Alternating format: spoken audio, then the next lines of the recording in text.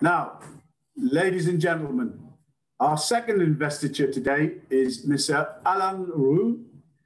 Alain, son of the late Michel Roux OBE, continues and elevates the Roux cooking dynasty.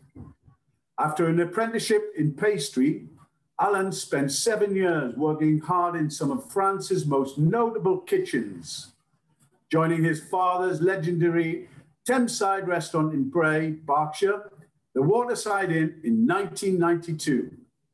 Alain worked through the ranks before becoming joint chef patron with his father in 2000.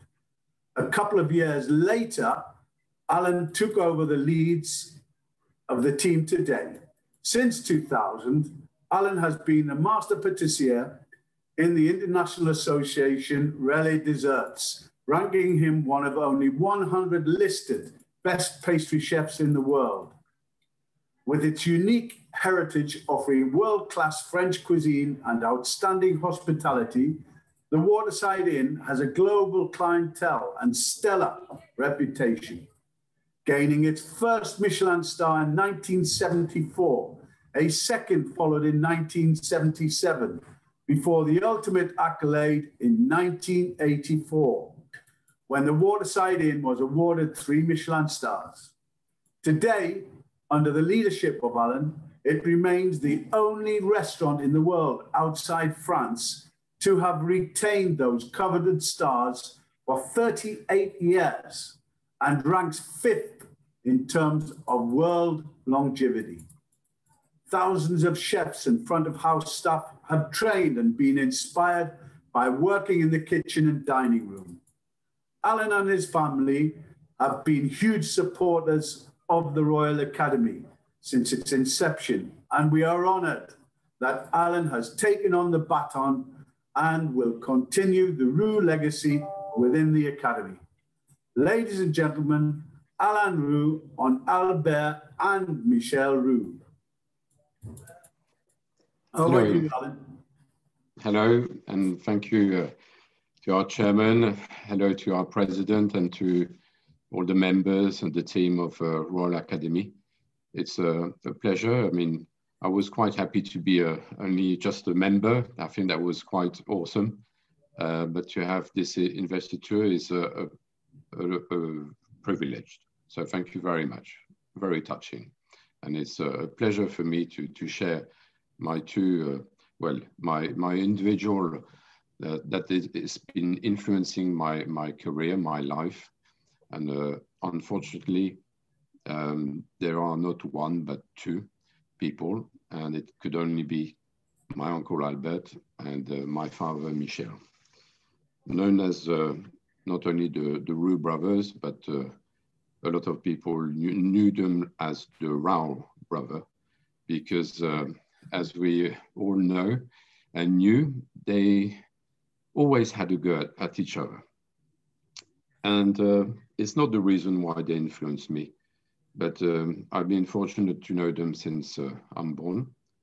And um, before I started in the profession, I just could uh, have a, a, guess and, and I could try to understand what they were up to and what they were doing in their life, in their career, and really their job.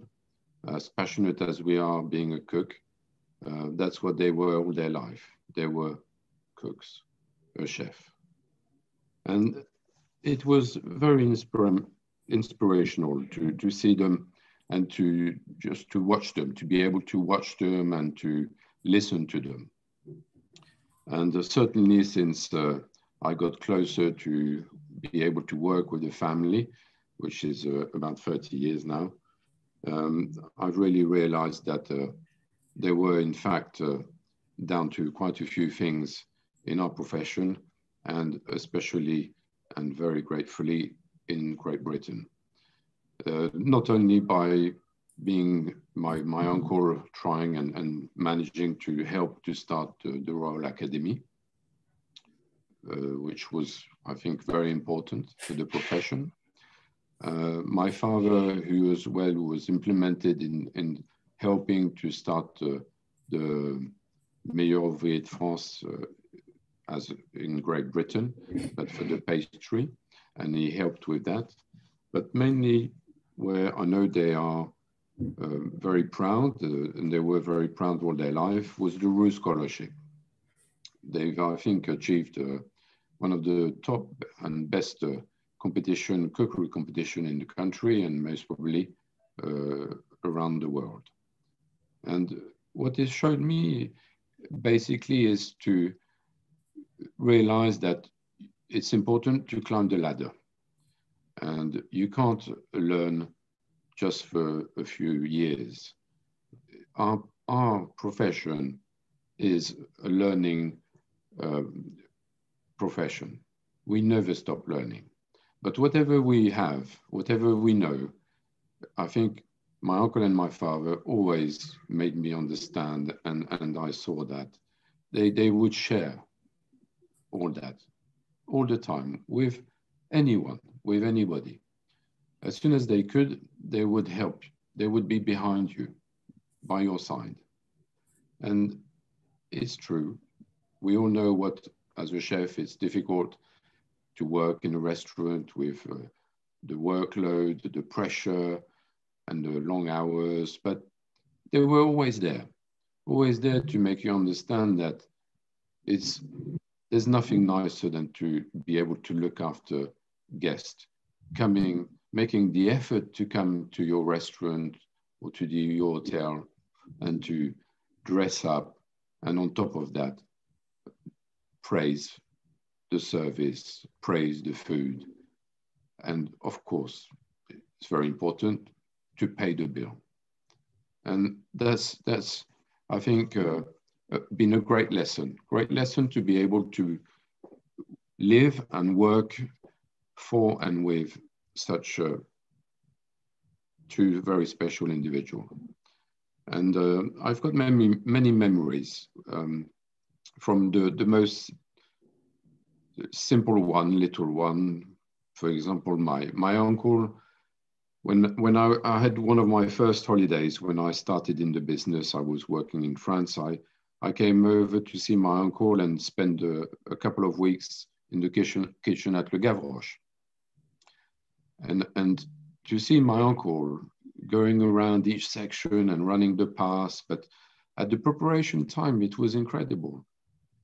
He used to uh, not waste anything in the kitchen. And not only in the kitchen, in the restaurant as well. It was an eye opener seeing all the trimmings from the cheese trolley and being able to do the most light and tasty cheese butter to put on a simple bread crouton was like one of the best things I tasted in my life. And it's a lesson. It's a lesson to understand that not only how the cheese has been processed, but nothing should be wasted. And I think we're all learning it, and, and the pressure is on us these days that it's important to look at sustainability. So it, it's all little things for me are very important and, and very great and has helped me and it will help me the rest of my life. I know they've themselves, they, they worked together and they were inspirational to see that they used to work um, one in the kitchen, one front of house by turn. Every two weeks, they used to swap when they opened Le Gavroche, their first restaurant in 1967. But they had to. They couldn't be two chefs working in the kitchen. And they were ready to work in a domain which was not that their favorite ones, front of house, but they knew that they had to educate the customer in a nice way to make sure they knew what to choose from the menu.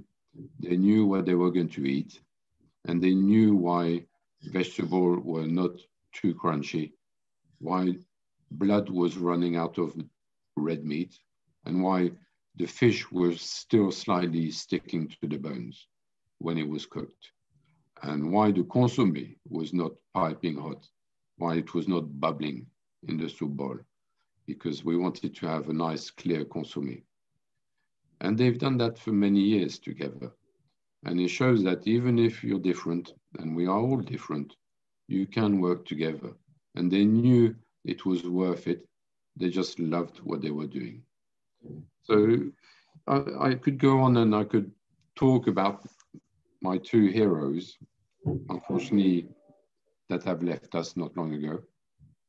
Uh, but they, yes, basically, they've inspired me. They've made me, definitely, they've made me step into the, this lovely career. Uh, so thank you to them. And I'm, I'm, i know they've changed life of many of, of us, uh, even some of you in the Royal Academy. And I think, uh, like all of us, we, we're all very grateful. So I better, I had to choose both of them because I don't want them to have a, another row. So there you are. Thank you for letting me uh, say a few words. And thank you for the, this lovely investiture. Well, what can I say? You can see everybody clapping there, Alain. A real fantastic tribute uh, to the men that meant so much to us within the academy.